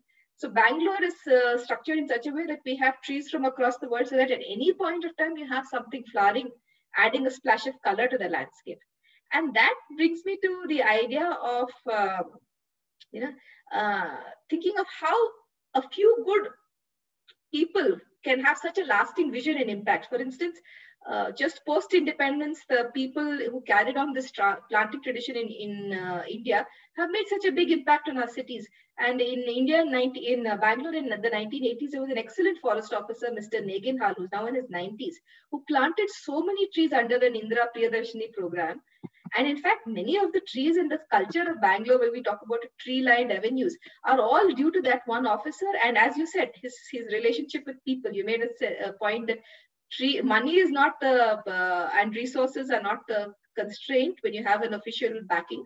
What you need is people to support. He went door to door, talking, opening doors, asking residents, what do you want on your street? And then when he planted the trees, they would come out in their buckets. We have done interviews, and uh, you know, entire streets and neighborhoods would be involved in planting the trees. And that is why environmental activism is so so strong in certain neighborhoods of Bangalore because there was this very intense collaboration. It was not that the government came and planted trees and went away.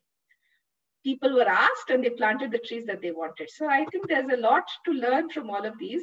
And um, finally, I'll just end with I thought your uh, insights on uh, this, uh, the psychology and trans uh, of uh, how do we sell this really? I think that is where we we we also need to bring in wider constituency because many people, unfortunately, who live in the city are far too busy today to think about the environment. They need the environment in many ways, but they have not been, their eyes have not been open to it. For instance, waste. We know that waste segregation is very easy, and yet it is not done at a fraction. And then uh, it's very difficult to say the government should clean up waste when we are not segregating, when we're not able to do that transition. So I think there's a lot of interesting behavioral research from elsewhere in the world that says that if you get 30% of the people to practice something, That's the first difficult part. The flip from 30 to 70% happens almost automatically because people are influenced by the environment they see around us. And then again, the 70 to 100% becomes very difficult. And I know Fridays for Future, the Sunrise Environmental Movement of uh, youth in the US, they all, a lot of them use this 30% number. We have no idea if that 30% number works in India or not. What is our crowd characteristic? What are, how, you know, how are we influenced?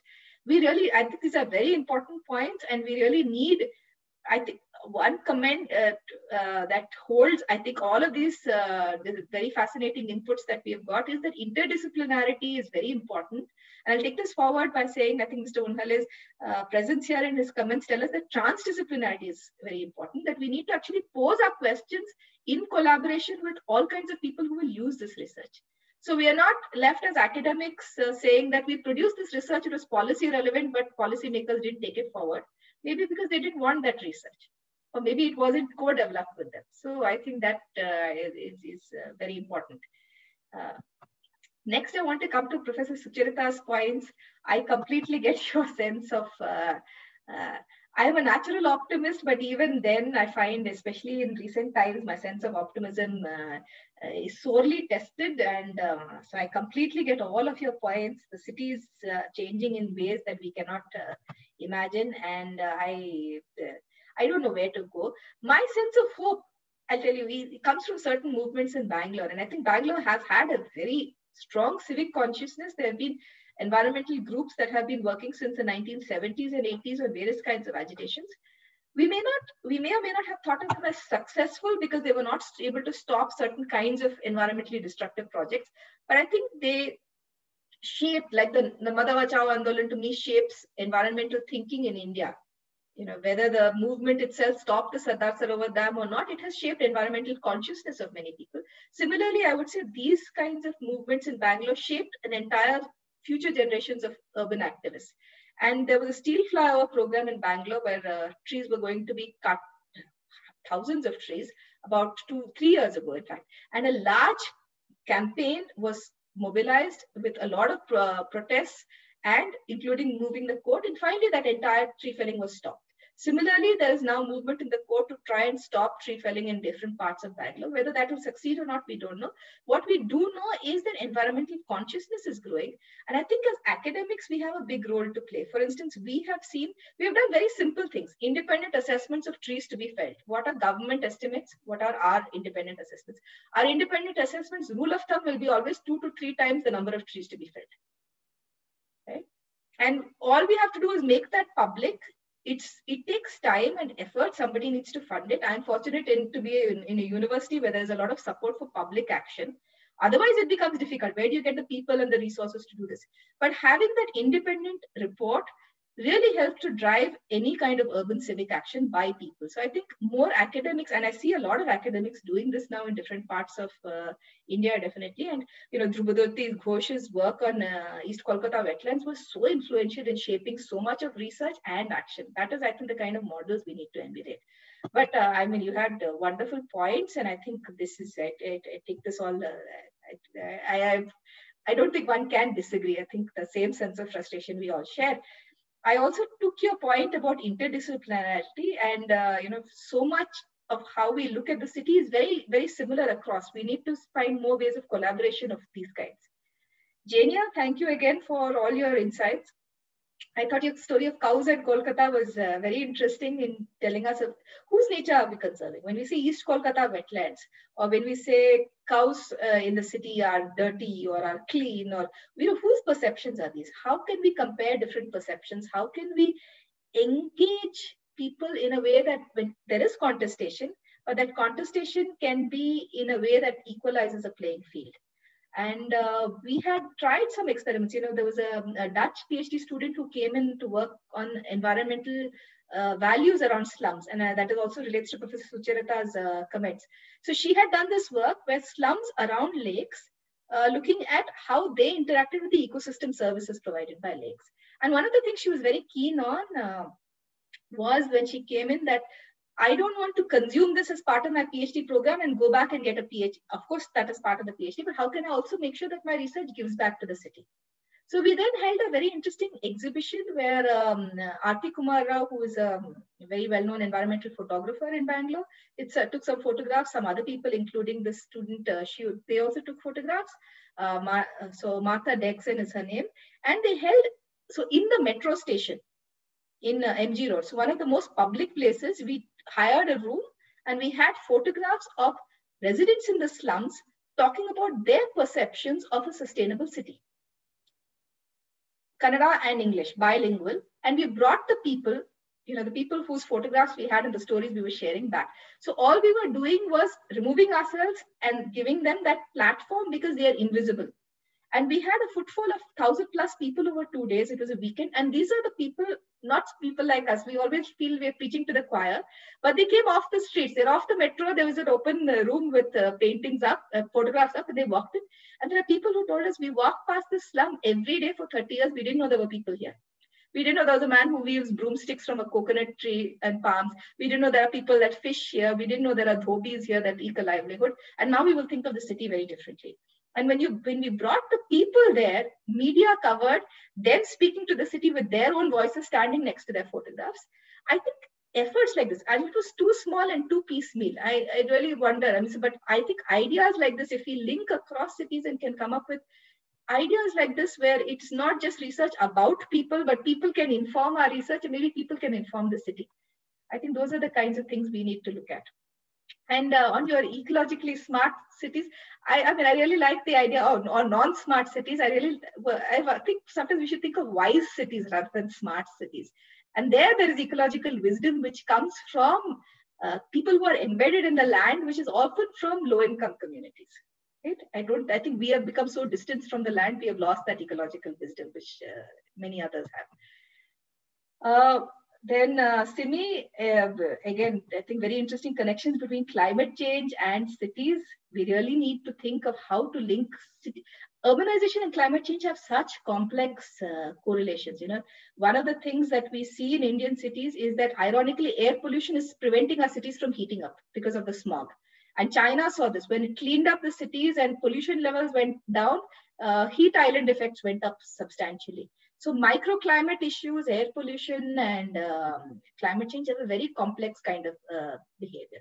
And similarly, rural to urban migration, adaptation and climate change. I think we are not thinking, for instance, of the fact that if entire coastal areas get flooded in the next 20, 30 years, which is likely, what are you going to do with all this citizenship and NRC and you know all of it? It, it opens up questions of when you have mass scale migrations like Europe is facing, India will face these in times to come. Are we even thinking of these? I don't think we're even at, at, any level trying to sit and think about what will we do in these 20 to 30 years because climate change, I think we're clear now, is not 2100. Probably in 10 to 15 years, we'll start seeing big changes. We're seeing it within India already. We're going to see start, start seeing large changes reshaping South Asia. So I think again, very I take again from you the idea of of um, interdisciplinarity because I think urban researchers, climate researchers need to be thinking a lot more. Can we think of climate change uh, in a, you know, speaking of the COP agenda, of how cities can be involved in mitigation in a different way? And I think there is increasing research coming from around the world that at least ideas like solar, for instance, there's such a big push in India. Can we follow something similar to the German path where we do aggressive solar in our cities? We're not taking our grasslands and our ecologically vulnerable spaces and our farming spaces and trying to do large scale solar, but doing large scale solar in our cities on our rooftops. And uh, can we do things like, I think we need to think of alternate paths or maybe both paths together. And we've really not seen how our cities, not just in terms of cutting emissions, but can they, they be sources of uh, climate sinks in some sense rather than just reduce the sources of climate. And I think there is much that we can do in the Indian context on research on that front again, which is collaborations with technology. Then. And this is a different aspect of interdisciplinarity. Right? And um, yeah, with uh, so I'll uh, end with uh, uh, Soumyadip. I think uh, yeah, your questions are uh, very thought provoking. What I, I'll, I'll end with your last question actually on positionality. I think what positions do we take are so I, so shaped by who we are and what our backgrounds are. Uh, I myself can see through my evolution of uh, looking at uh, cities as part of my research from 2006 onwards, my positionality or my have been shaped by so many of the people that I have worked with and learned from. And I think absolutely all the people we have interviewed and interacted with have each time, I'd say, humbled me in many places and shown me that they think of things very differently. So I think the positionality of a planner, a government officer, somebody doing CSR, somebody doing uh, uh, social sciences research, somebody doing humanities research, somebody doing technology, all of this. And then, of course, the other rich and poor, caste, women, men, you know, old, young. All of this really shapes the city. How do we then have negotiations around what the city, who belongs to the city? I mean, I think I'll go back to this idea of rights to the city. And whose city is it? We all will have different positions on what we want from the city. Then how do you make sure that you can you cannot remove power, but at least can you equalize that a little bit and make sure that the voiceless are given some amount of voice? I mean, have we really ever looked at urban visioning plans by asking people who are migrants and what their visioning plans are of the city, for instance? We never do that. Or people in slums, what is there? Some of the people in slums, like, uh, I mean, we call them slums, like the Lal Dora in Delhi or some of Bangalore slums, they've been here for 200 plus years. In Delhi, of course, they're the original inhabitants properly of that area. We just call them slums. So why are we not asking them what their vision of the city is? And often we get very surprising answers when we ask them. some like the urbanization, but some, um, and it's mixed, it's complex in its own way. And uh, we have not spent that time trying to integrate them into our vision plans. I'll end with that. I think the positionality and the interdisciplinarity is what I've taken away from all of these uh, comments. And that has been very fascinating. A very rich discussion. And thank you all. Thank you. In fact, in fact, you have rightly pointed out, like there are many avenues for the common people, especially the marginalized section of the people to uh, to make their uh, vision public. For example, we have this provision of what committee, uh, thanks to the 74th Constitutional Amendment Act. But unfortunately, uh, uh, the, the implementation of the 74th Constitutional Amendment Act can at best be described as partial or, or rather incomplete. Okay, so, so there lies the problem. Like we have some of the official policies which facilitates people's participation in urban governance, urban issues, but unfortunately they are not being uh, thoroughly implemented and all these things. So uh, uh, with this thing, let me, uh, also we have a couple of questions. So actually you, uh, there are some questions in the chat box and also there are some questions in the Q&A. So you can uh, see them and directly answer to this question. But before that, just now I request Dr. Arjun, who is the Director of Impact and Policy Research Institute to uh, make your comments and observation. So what do you, Arjun? Thank you, ma'am. You can really choose any question you want to answer. Nothing, really, yeah. And um, uh, let me first congratulate you. And uh, also because APU is also leading uh, research methodology, I have also benefited for it. And but I really wanted to start from, uh, ma'am, your uh, very unique observation about the R&D, especially in India, and how the global north or south that divide. And when we uh, come into india as a whole then you know the the production of knowledge or even dissemination many articles also comes which are there in you know in, in journal or books which cost 15000 so access also remains such a big deal. Our government many universities have also done a lot of things but here also at IMPRI we try to do that make make knowledge sort of public and also bring forth in, in many different forms uh, so one was that question, ma'am, how do you think what is being done in that regard that uh, India take that space and also product indigenous knowledge for our uh, localized uh, solution? Uh, that was one. Second point I really thought to ask that uh, every year as we see, there is some sort of record in terms of tree plantation during um, the monsoon by all the governments. Um, how do you see this phenomena? this has become a sort of norm from all the departments. Uh, every year, sometimes Karnataka also plant like 10 crores, 12 crores plant, and then nothing happens. And in our infrastructure projects also, our minister also uh, uh, for the highway and others, that has been taken up that we will uh, plant across all the uh, highways, uh, 200 meters, 100 meters of that green zoning. but some of the new infra projects do have that, but sustain and how it is happening, that also remains the question. How do you see this macro phenomena uh, occurring every uh, annually? And uh, second uh, was related to technology in NDMC, New Delhi Municipal Council, the Lutyens Zone. That is a smart city. And there uh, what uh, we have done is to tag all the all the trees uh, with GIS and everything. There is a smart tree tag also. So uh, because that part of the city really have uh, those sort of resources to do that. Uh, but when you just step out of that NDMC area and then you see pollution and everything coming in, then how do you see in terms of urban governance, we have also NGT, uh, National Green Tribunal, mm and so many quasi-judicial, so many bodies. How do you see these things going on? Uh, again, on macroeconomic point of view only, we also had NUPF, National Urban Policy Framework draft. There also ecology and other things were, uh, I, I, said, good covered, but not very much on the implementation part.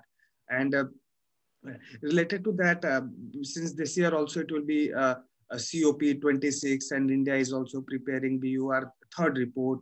And uh, other than, you know, forest cover also we are improving. So overall, we are also showing that India is doing so great in terms of climate change and cities and other things.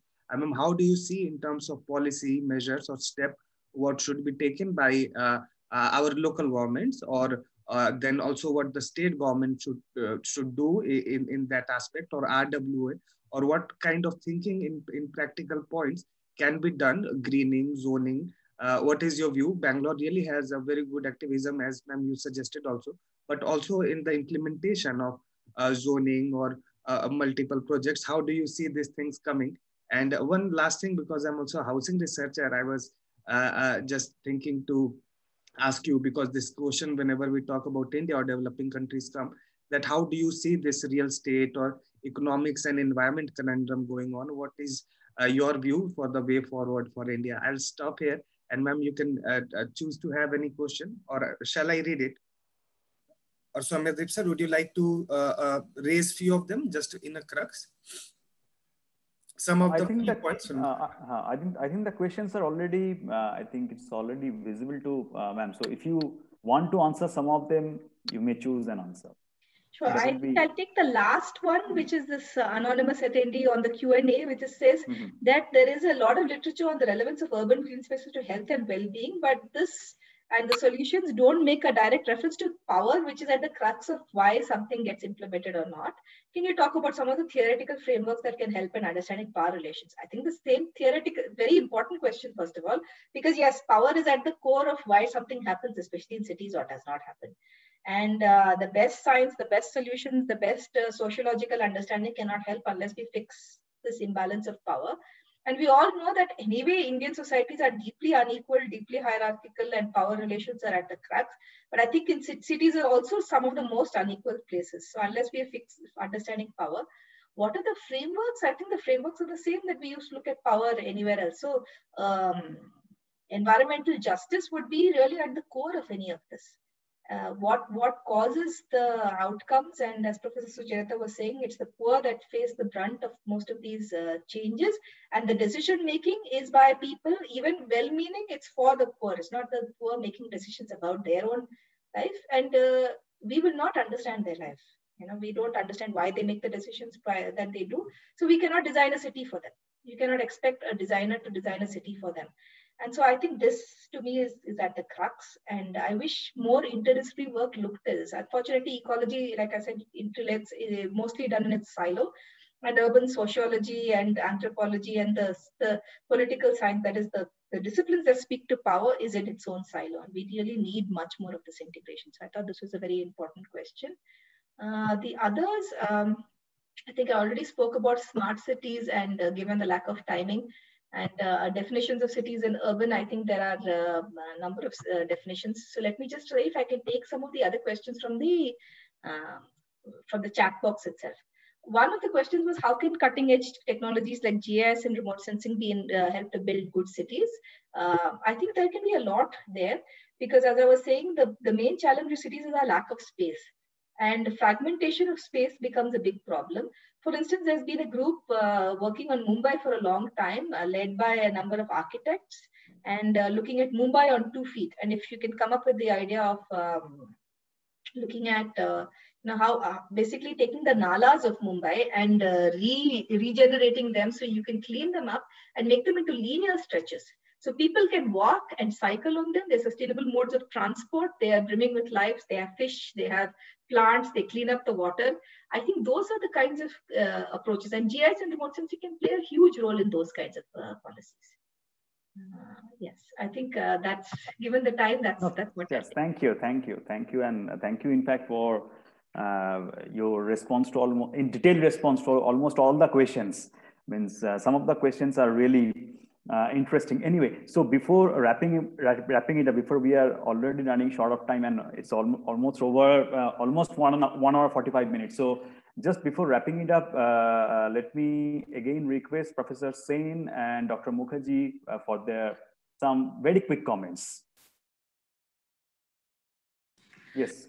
I, I have no other other than the fact that you know I have benefited enormously and thank you for having me here. I, I really really think we should have uh, you know more dialogue together. We should have some kind of probably a loose forum where you know people who want I mean think similarly can contribute with their own expertise and actually develop a language like you were talking about transdisciplinarity, and I really, really take that point. And I think we should learn to talk to each other and develop a kind of a common language. Many oftentimes we don't do that, particularly with the scientists and the social scientists. Uh, and uh, but I do see I have a lot of hope with respect to that because I, I, I see uh, work being done in the convergence areas I think that should be taken further. And I, I, I think that if nothing else, there'll be just larger number of people from different aspects, walks of life, asking the same question. Even that itself would be a, uh, you know, big deal. So yeah, thank you very much for having. And it was Harini, it was absolutely fascinating to listen to. You. Thanks. Thank you. Thank you, Professor Sen. And then uh, it's over to Dr. Mukherjee. Yes, I think uh, I absolutely agree with uh, Sucharita ma'am's point, and uh, not only interdisciplinarity, but how to also you know transit from interdisciplinarity to into inter uh, or transdisciplinary to, to trans-sectoral exchange of uh, knowledge. And uh, like all of us, are I think uh, looking forward to now to forge and craft common a common language of conversation and that is the need of the hour and i think your books and your works and also uh, uh, we were uh, blessed to have SEMA uh, last year, uh, I guess. So, and uh, we, I mean, it was a brilliant presentation on cities and canopies. So I think, yes, so um, we have been benefited a lot today. And, and, and I think in spite of this pessimistic ambience, uh, I think you have been able to kind of infiltrate a lot of hope and optimism and we see and feel hope, resistance, and uh, resilience in, in, the Anthropocene. So, which uh, would be a legacy, I think, uh, left on us and give us fresh energy to again uh, work on um, urban nature or cityscapes. Thank you. Thank you, Dr. Mukherjee. And it's over to Dr. Simi if you have any quick comments to make. Uh, well, Thank you so much. Thank you so much to everybody. And um, I I will just raise one last point that I wanted to very uh, eagerly is that um, the whole idea of city pollution is is not uh, a making of that particular city as we see in the case of Delhi, it is actually intercity also sometimes. And there are many times when one particular mm, region or state is uh, at the receiving end. So what are the reasons for such transfer of pollution. So for example, uh, burning of uh, stubble burning, etc. from Punjab, Haryana, Rajasthan, Western Uttar Pradesh. So uh, it just depends. And, um, and we need to really focus uh, on a very um, plain, unbiased, neutral stand on how do we uh, involve all the stakeholders in a positive manner and then channelize our way through because we cannot just mm, remain watching and waiting for uh, October, November every year that, okay, this is two months and everybody has to be shut inside their homes with air purifiers. And um, this is how things will go on. So this cannot go on if we have to move towards sustainable environment. So this was my uh, concluding comments. Thank you so much. I have also benefited enormously with the discussion. Thank you. Thank you. Thank you. Thank you, Dr. Simeon. Uh, uh, it's over to Professor Harini if you want to make any comments and then I'll finally wrap it up. No, I think thank you. This is a rich discussion. I think there were many questions that I could not finally get to also. So, um, but I think we are running out of time. But I, so, I truly enjoyed this. There are some some discussions which are one way talking to an audience, and there are some that enrich you much more than I think anything else. And I I will go back with my head buzzing with ideas, and I think this will really so, shape a lot of future work. So thank you, everyone. So thank you, thank you, and just just just to uh, say a final words, like we need to better understand the environmental context of our cities and, and uh, we need to think of a very different uh, sort of epistemology from the current approaches of the way we plan and manage our urban environment. And some of the ecological perspectives that have been discussed today, I hope uh, can help to build this new epistemology and, and change our praxis. And uh, thank you once again to uh, Professor Harini and also all the uh, discussants and panelists, Professor Sen, Dr. Mukherjee, Dr. Simi Mehta, Mr. Unhale, uh, for being with us in this particular session. And we continue to hold this uh, particular city conversation series. And we hope all of your presentation in the future events as well. So thank you once again and good night. Thank you. Thank you so much, Harini ma'am. Jenia, Yes, thank you. Have a good evening.